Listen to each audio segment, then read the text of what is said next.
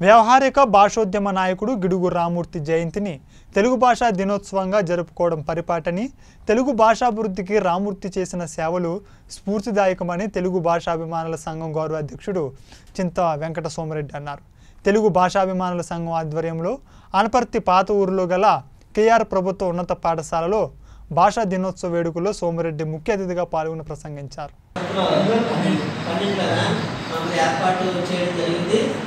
అప్పటి నుంచి కూడా ప్రతి సందర్భంలోనూ కూడా అనేక కార్యక్రమాలని ఈ అనంతరం తెలుగు భాష సంఘం తరఫున మంచి మంచి కార్యక్రమాలను కూడా చేపట్టడం జరుగుతుంది.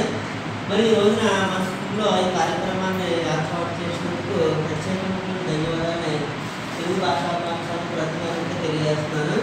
ఈ మిగిలిన విషయాలన్నీ కూడా మన కిషోర్ భాష తెలియజేస్తారు.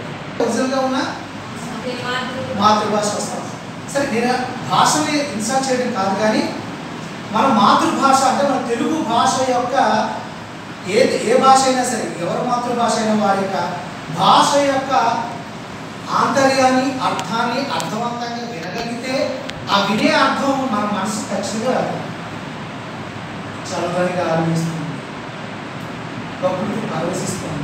ఆ పచ్చని ప్రకృతి ఇక్కడ నేను చాలా కాలం పనిచేశాను. ఆ పచ్చని పైరు. అది చూస్తూ ఉంటే ఆహ్లాదకరమైన వాతావరణం. నేను ఈ మాట్లాడినప్పుడు మీకు ఏమనిపిస్తుంది అంటే?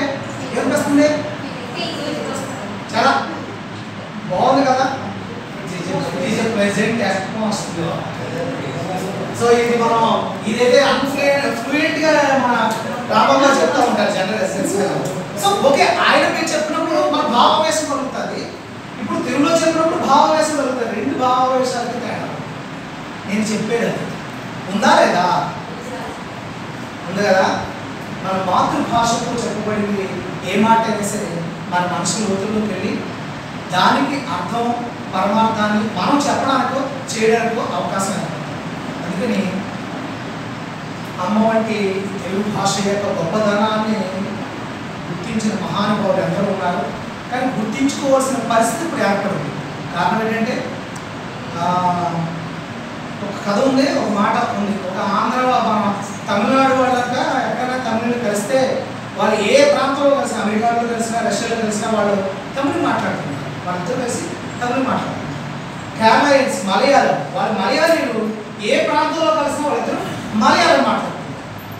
తెలుగు వాళ్ళు ఏ ప్రాంతంలో కలిసినా తెలుగు తప్ప అని మాట్లాడుకుంటారు. అంటే ఇంగ్లీష్ మాట్లాడుతారు మరి తెలుగు వాళ్ళు కూడా? ఇంగ్లీష్ మాట్లాడుకుంటారు.